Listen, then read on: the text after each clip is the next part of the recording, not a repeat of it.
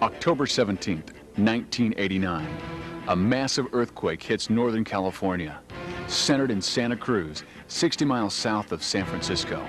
Magnitude 7.1, and it causes 63 people to lose their lives.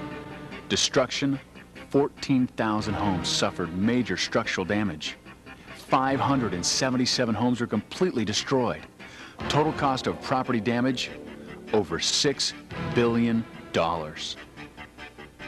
1992, the Southern California community of Yucca Valley becomes the next target of Mother Nature with a 7.4 magnitude earthquake, the largest tremor in over 40 years in California. The valley and the nearby resort community, Big Bear Lake, suffered massive damage, with more than 7,000 homes destroyed or damaged. January 17th, 1994, at 4.31 a.m., Northridge, California shakes for 40 seconds, registering 6.6 on the Richter scale from a previously unknown fault lying nine miles below the Earth's surface. Mobile homes had the highest failure rate by far. 67% hurled from their support piers. No one, not even the scientific community, can accurately predict when the big one will strike. But one thing all scientists agree on is that we should prepare for a continued period of high seismic activity and take the necessary steps now to make our homes earthquake safe. When an earthquake occurs, a sudden release of a tremendous energy travels along the Earth's surface in the form of seismic waves. These seismic waves move both vertically and horizontally in two ways. First, a violent shaking and pulling in opposite directions. Simultaneously, and next, an overturning action that can rock the mobile home right off of its support piers.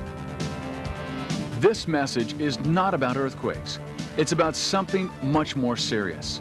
It's about the way we install our mobile homes in California and why something needs to be done. Shortly after the Northridge quake, Testimony was given by the Department of Housing and Community Development at the State Seismic Safety Commission hearings in Burbank. What was learned there shocked most of the commissioners and will shock you.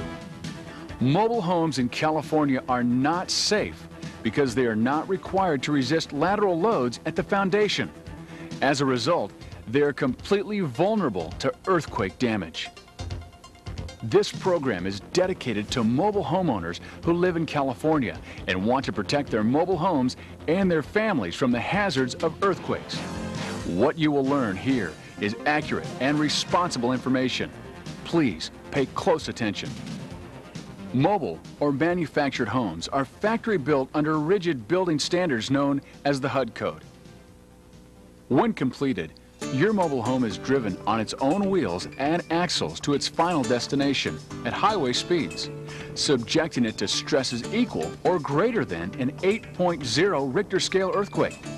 It is then installed on leveling piers.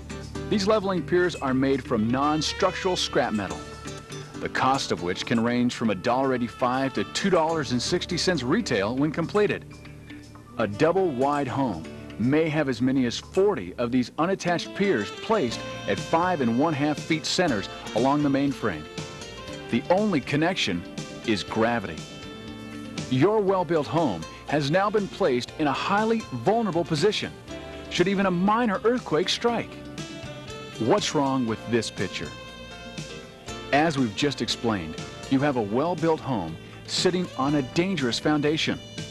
What if we design the foundation to the same code that the home was built to? To better understand the importance of a HUD code foundation, let's take a look at earthquake forces and how they travel. First is the primary wave which pushes the home in the direction of travel. The primary wave tends to push the base of the support pier away from the footing or wood pad. Since there is no actual connection between the pier and the mainframe, the pier tends to move away from the mainframe which it supports. Next is the secondary wave, which moves back and forth at right angles and has a pulling apart effect on the mobile home, which can cause severe damage where the multiple sections are adjoined, known as the marriage line.